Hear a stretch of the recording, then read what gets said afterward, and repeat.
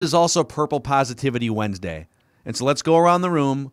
All right, it's a clean slate for week three. We'll start with Judd. What is something positive that you're thinking and feeling about the Minnesota Vikings here going into week three? So I, I talked about when we looked for silver linings on Monday, I talked about Kirk. So I'm going to uh, leave Kirk for potentially one of you two guys. Uh, I'm going to go with the guy that I predicted is going to be the National Football League's comeback player of the year against a very, very solid class of potential candidates. Danielle Hunter, who I had, look, he was coming off neck surgery and I had real trepidation, uh, has looked unbelievable since day one of camp. Like he looked like this in camp. Yeah. And you thought, okay, he's back. And then and then he plays in games and and I mean he's a guy that the fact he didn't play last year and his single-handed ability to impact games, uh, which he did on Sunday uh, in the second half.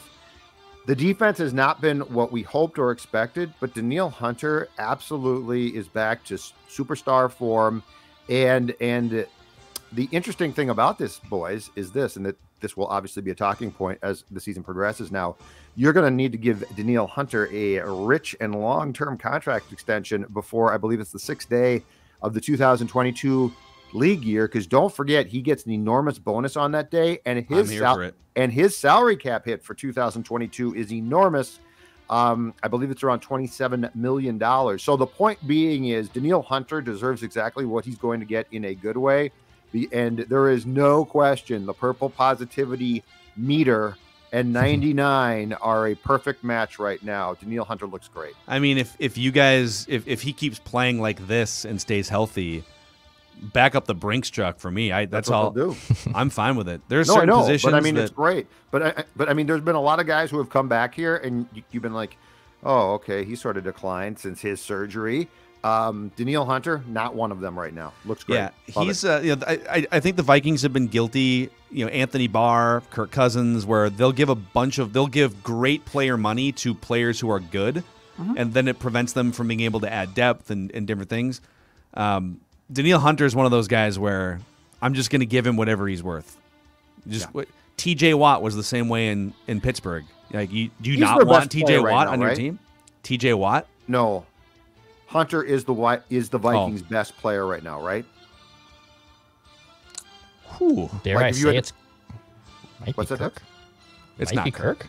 Kirk no, is Kirk's off to a good start, but like but Kirk's saying, Kirk's not one of the best. Kirk's not one of the three or five best at his position, though. But I'm saying if you were if if I said you can take one guy off the Vikings right now to like start a franchise, or that or that you consider huh. their best player, I think it's Danielle.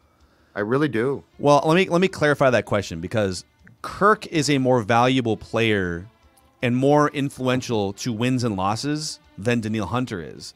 Right. But Danielle Hunter is better relative to his peers at his position than but Kirk Cousins is. And you're not starting a team with Kirk Cousins.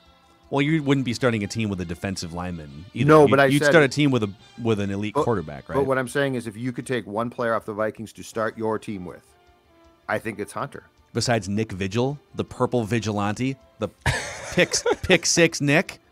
Look, look, okay. Huh? Purple, purple positivity. Yeah, pick six Nick. Eh, he's been a great signing. He's on a one year cheap deal too. Mm-hmm. Like you, you have. He's already given you your return on investment, dude.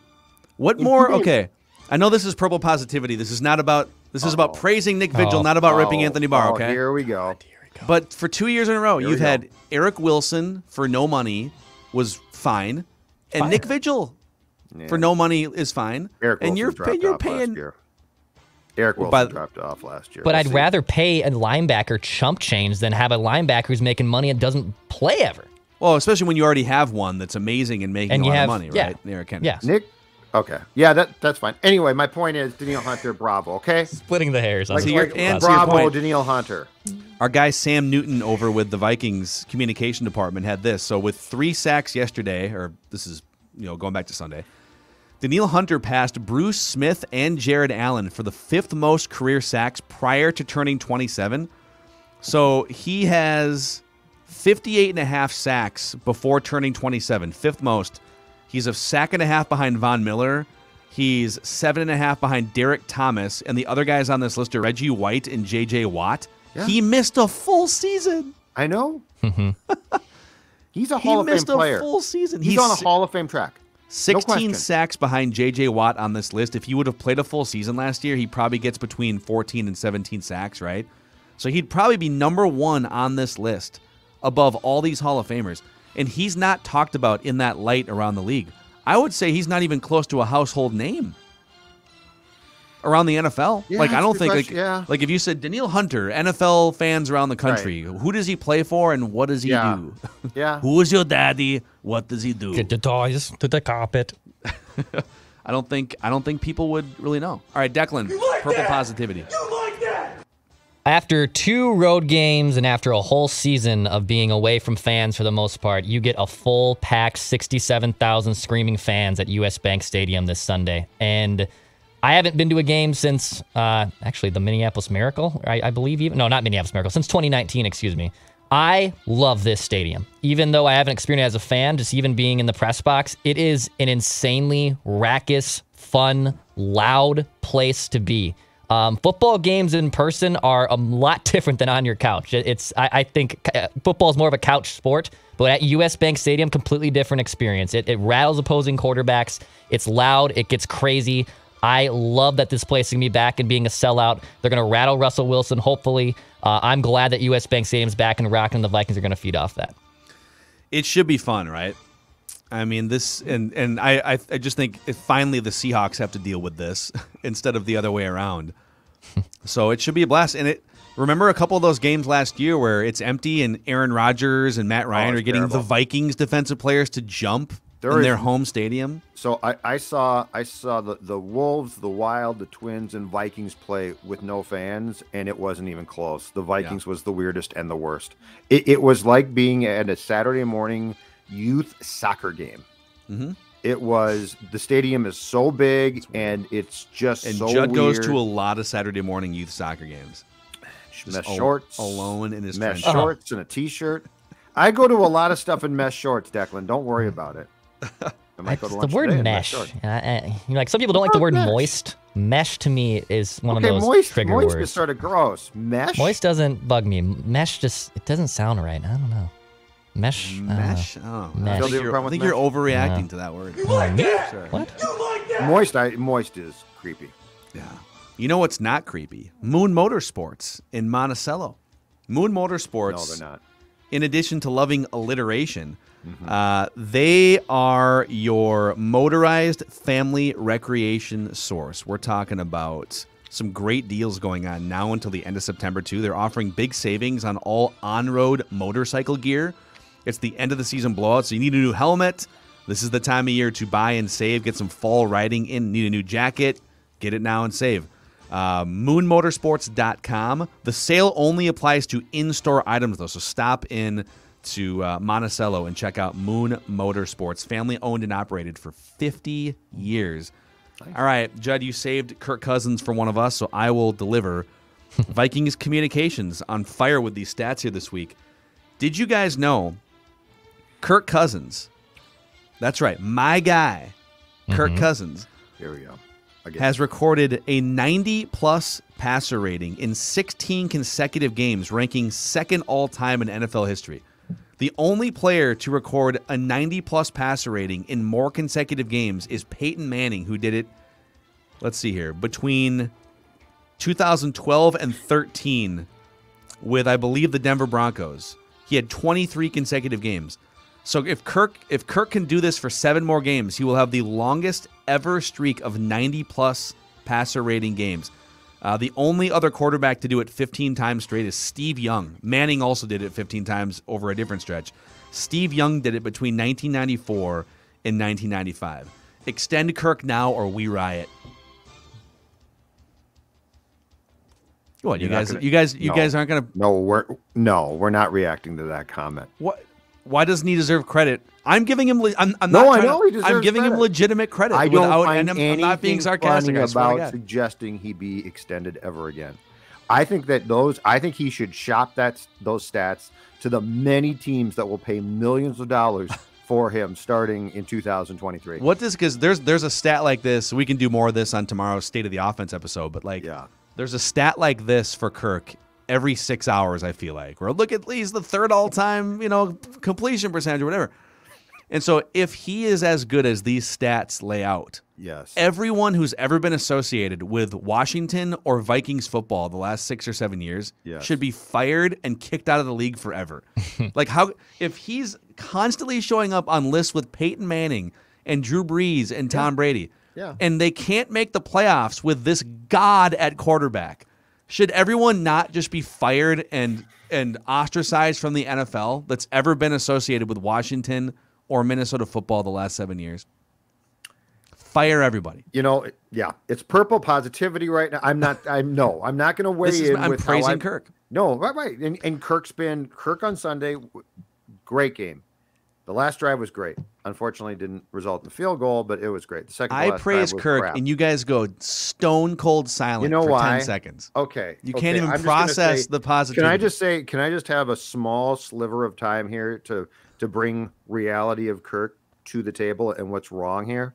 Oh, what's wrong- infringing on purple positivity right It is. It is. But the last drive, to be very clear, before the missed field goal was fantastic. It was really impressive. It was well orchestrated. It was well done.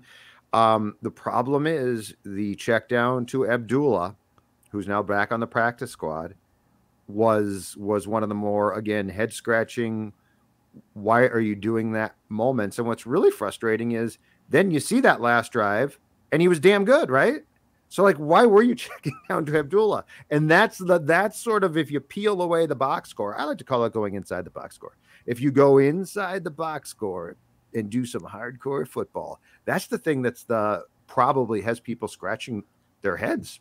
What would the conversation right? if, if that was the last sort of memory from Sunday's game that we had? Let's let's say, all right, there's because there was like two twenty left or something on that play. It's third down and seven.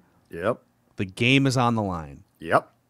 and there's no guarantee that you're going to get the ball back. In fact, the decision to punt on fourth down was, according to like the, the the fourth down, should you go for it bots, was one of the worst decisions of the week of any coach.